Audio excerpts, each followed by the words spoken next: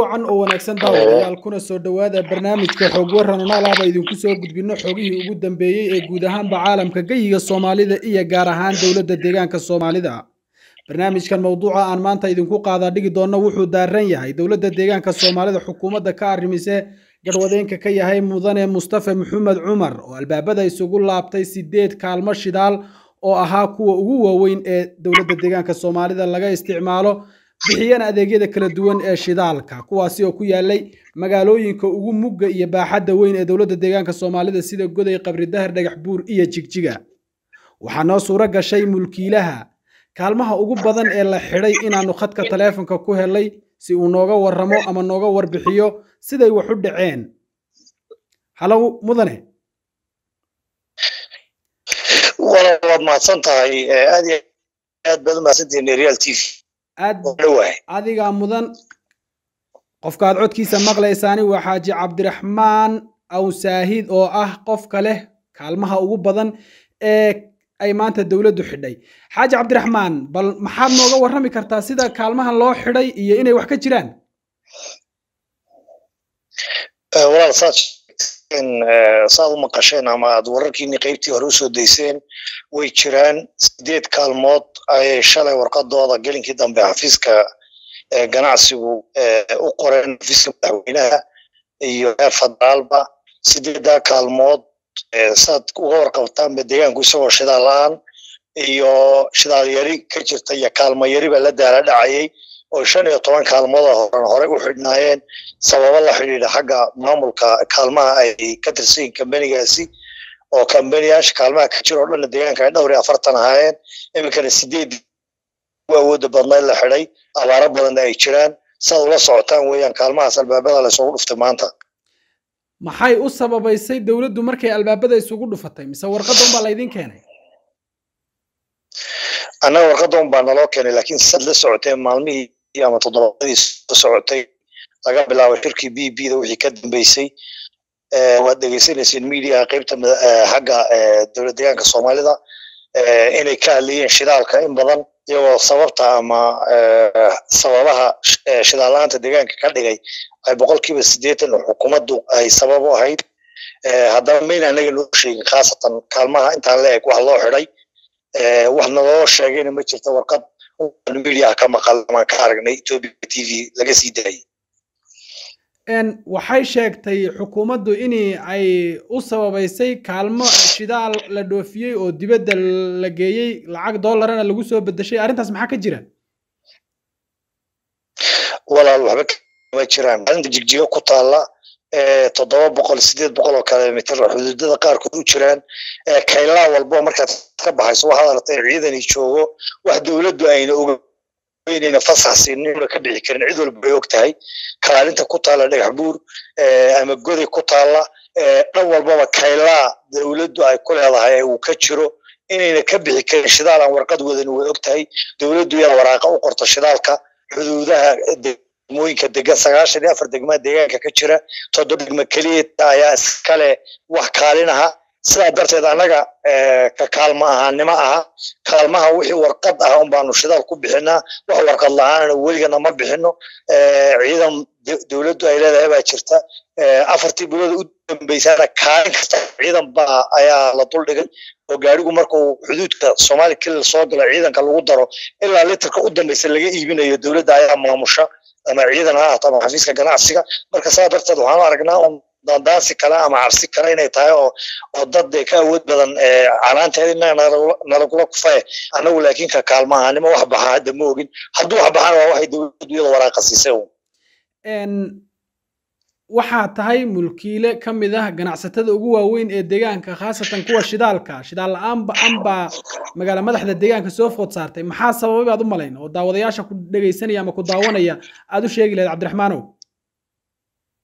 Walaa laba qodob baa sababtay shidaal la'aanta deegaanka ka jirta. Horta etoobiya oo dhan ba iminka hadda shidaal la'aan weliba way ka sii dari doontaa ayaa wajahday ko laakiin number one dowlad deegaanka isagoo shidaal ku filan haysta ayay dowladdu cabasho gudbisay say wararku nagu soo gaadheen oy dowladdu kelilku ay tiri shidaal kontrabana naga baxa hanala soo gaadho jeerigaamay sawireen baabuur shidaal lagu shubayo waraaqa soo siiyaan bay sawireen.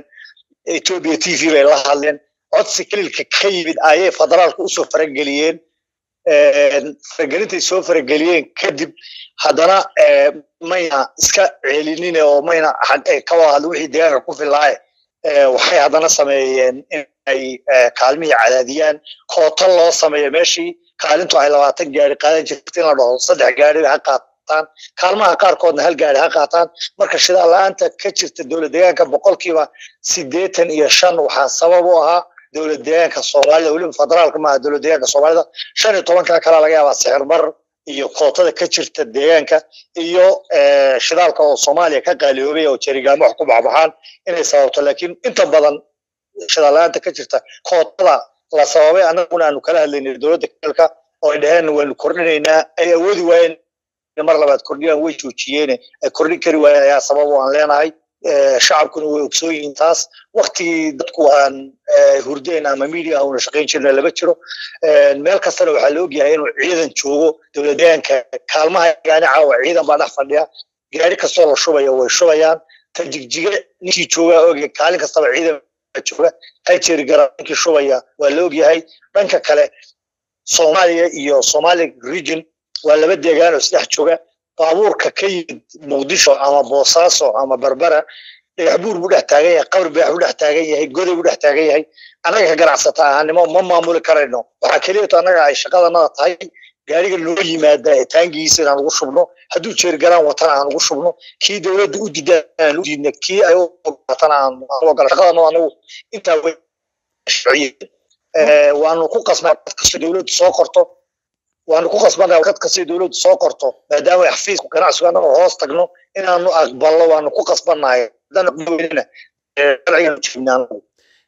mudane cabdiraxmaan maxay xal ka tahay tallaabadan ay dowladdu qaatay? Sidee bay u aragtay? Maxaase caqabadaho ay soo kordhin kartaa? Natiijo noocee ah laga dhaxli karaa?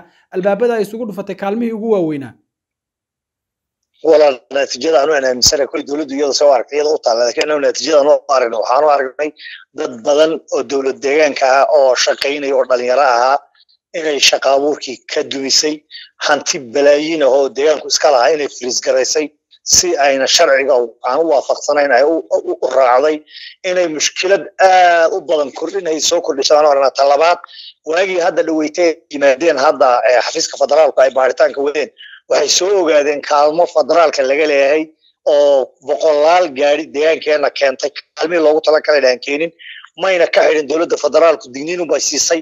Sababta marka nin kaalin loo bishii saddex gaari ama afar gaari gadi jiray albaabada laysoogu laabay soo digniin helin wax caddayla laga haynin isagoo shidaal dhoofinaya aan la qabanin. Waxaasoo dhan ay dowladdu ayna caddayn midna u keenin ay dowladdu albaabada isoogu laabtay. Waxaanu aragnaa oo sharci darrada ka jirta africa inay ka mid tahay dowlad deegaankana weligeedba ka soo jiri jirtay khaasatan ilaa iyo intii uu deegaanku abuura sharci darrada ka soo jiri jirtay qayb ka mid a unbaanu aragnaa inay tanna hadda jirtay. Sababta ganacsatadii hore deegaanka kelilka dowladda unbaa burburisay mar kastaba. Markay ganacsata soo kacdo mar kastaba dowladda deegaanka ka jirta unbaa soddonkii sane u dambeysay burburinaysay. Anna waxaanu aragnaa un tii hore ee burburi jirtay ganacsatada inay ka mid tahay. Xaaji cabdiraxmaan ugu dambayn deegaanku wuxuu dowladda federaalka ka helaa kooto ama percentage shidaal ah. Kaalmahan la xidhay ma dhimi karaan? Horta shidaalku caqabadiisu sidii bay u jirtaa. Oo hadda kuwan haddii la xidho iyo haddii la sii daayaba sidaad u ogtidiinba kaalin kastaba hadda sida labada magaale waaweyn iyo goday iyo jigjiga dadka taa inaan u caddeeyaan rabaa. Afar gaari baa loo ogolyahay saddex naaftaa iyo mid badrooda magaalada hadda la dhaho wardheer kale kaalinteeda hadda la xidhay laba kaalmooda ku taalla gobolka dolo oo dhan kaalintaa kale kaalin kambeni yar oo iska tabar yar buu ahaa si aad aad uga warhaysaanba markii de kaalintii kale laga xidhay gobolkii dhannaa ee doolo ee sagaalka degmo ka koobnaa intaasoo ceel ka jiran intaasoo gaari lahaa oo labadii kaalmooda ku lahaa mid la xidhay waa dareemi karaysaan dhibaatada soo food saari karaysa gobolka ama deegaanka. Gobolladoo dhanna saas jijigay ka mid tahay goday bay ka mid tahay qabridaaray ka mid tahay dhammaan waxaa leeyahay saamayn aad u xoog badan bay ku yeelan doonta khaasatan xagga abaaraha iyo biyadhaanka booyadaha ka jira. Waa dareemi karaysaan hadda haddaad la socto miidiyaha kaalintan hadda goday laga xidhay laba cisho ka gaari soo galay. Gaadhigii saddex cisho fiilada ku jira isagoo soo gaadhin ayay ka dhammaatay shidaalkii ee booyadda biyaha waday. Marka waxaan aaminsanahay inay xal keenaynine inay uga sii dari karto abaarta iyo shidaalaanta deegaanka ka jirtay dowladdu kamayna fiirsanin baan leeyahay maxaa caymisoy samaysay? Gobolka doollo oo laba kaalmood basi ku yaaleen midda ugu weyna ay midaadii ahayd markii midii la xidhay intaas oo boqol oo gaadhi oo abaarahan la daalaadhacaya ama la dagaalamaya kuwo badeeco wada iyo kuwo biyo wadaba ay gobolka ku sugnaayeen kaalintii ay ka qaadanayeen shidaalkana la xidhay. Maxay dowladdu caymisoy samaysay? Waa hawshaa kaga kaga taxadaraysaa hawa yaraatee ma jirto laakiin warqadda waxay ku qortay kootadii ay kani lahayd in taa kale loogu daro. Kaalinta kale waxaa dhici karta inayna gawaadhiba markaa diyaaru ahayn inaynan lacagtii bixinin kambanigay ka qaadanaysay in lacag lagu leeyahay inaan kooto kambanigaas una habeenkaa helin. Marka waa caqabad sii boqol jibaarantay baan leeyahay deegaanka ku timid waxaana u rajaynaya alla subxaana wa tacaala inuu faraj khayr qaba oo abaaraha ilaahay ka bixiya inuu siiye laakiin xaaladda in looga sii dara boqol boqol baan aaminsanahay. Waana uga tacsaynayaa deegaanka. Annagu faa'iido yar baanu ka heli jiray laakiin dadka dhibanaha caawa ah makhraatibay ka yihiin dadka dowlad deegaanka jooga weeyaan. Eenu serviska u qabanaynay eenu hadiya habeen habeenbarka u shaqaynaynay eenu maalin iyo habeenba aanu shaqaaluhu u taagnaan intii abaartu jirtay. Ta kale booyadaha annaga annagu waxay u dhaamin jireen deegaanka markastoy booyadu ay meesha geyso lix jeerba ayay dhamisaa gobollada ku dhegan ee ugu daran maamulada meelaha ka jiraan ka makhraati ah ama intay soo socoto gaari kasta markuu geeyo toddoba beri ayuu u dhaamiyaa gobollada ku xiga eriyadaas marka tii lafteeda caqabad baa ku imanaysa oo dee booydihii sosocodkoodii baa yaraanaya shidaal la'aan baa ku dhacaysa meel ay maraan ma laha oo dee shidaalka ay masaarifta ka helayeen ma helayaan marka waxaa leeyahay abaartii unbaa looga sii daray dhibaatadii ay dowladdu sida haddii aan su'aal ta ugu dambaysa ku weydiiyo waxaa jirtaa aan dhankan kaalmaha shidaalka iyo ka soo laabto waxaad ku hawlaneed waa dhoweyd la dagaalanka abaartan ama kahortaga abaarta baan ee deegaanka ku habsatay booyado fara badan adigoo bixiyey xaggee hawsha abaartu ay maraysaa? Sidee dowladda uga qayb qaadatay sidee ganacsatada uga jawaabtay? Walaal dowladdu inay ka qayb qaadatay inii kale kule shacabkaa la weydiinaya dowlad deegaanka. Way jirtaa tallaabooyin ama dadaalla ay samaynayso. Inkastoo dadka gudaha aaminsan yihiin inayna sidii loogu talagalay dowladdu uga jawaabin abaartan hadda jirta oo dhibaatadu sii boqol jibaarantay annagu ka ganacsata ahaanimo tabarteeda dadku dadkayagii weeye dadkaa la weydiinayaa deegaanka hadda shalay u dambeysay shan gaari meelihii ugu darayna looga soo calaclay hore shagax degmada ka mid ahayd godoy baan shan gaari shalay uga soo dhaaminay toban gaari shan rimood oo midkiiba rimoodkiisa jiidanayo ayaanu gobolka shabeelle iyo nogob u dhaaminay shalay keliyata sagag baanu u dhaaminay dhagaxmido baanu u dhaaminay saddexdii cishe u dambeysay. Laakiin de maadaama aan shidaalba u heli karaynin oo shidaalka baabuurta anagu booyadaha yaga ayaan in uga reebi jiray. Si baabuurta iyadoo ay dadka u gaadhsiiyaan maamulada meelaha ka jiran xidhiir baanu lalahayn laakiin de maba waa looga sii dara marka meelay u dhaqaaqaan ay shidaal ka helaanba malaha booyadaha iyagii marka waanu ku qasbannahay inaanu xamuul ka dhigno ama sidii kale eenu dadka wax ula qaban karro abaaraysan inaanu waxaan ula qaban karra ula qabano mid aanu dowladda hawsha naga joojisay aanu dadkii ugu carqaladayna mehe laakiin tabartanada mar walbaba waanu la garab taaganahay dadka abaaraysan heliho oo dadka garab taagan dowladda. Mar walbaba aanu leenahay ma aha dowladdana carqaladayso anagoo dadkaan carqaladaynayna. Aad iyo aad baad u mahadsan tahay kaasina wuxuu ahaa cabdiraxmaan awsaahid oo ah ganacsade ka soo jeeda dowladda deegaanka soomaalida una dhaqdhaqaaqa ama la dagaalamayey abaarta ba'an ee ka jirtay deegaanka iguna warramaya khadka taleefonka igana warbixinayey dowladda deegaanka soomaalida oo maanta isugu dhufatay albaabada kaalmihii ugu waaweynaa ee ku yaalay magaalooyinka xudunta u ah magaalo madaxyada deegaanka. Cabdiraxmaan aad baad u mahadsan tahay? Adaa mudan walaal aad baad u mahadsan tahay realtv shukran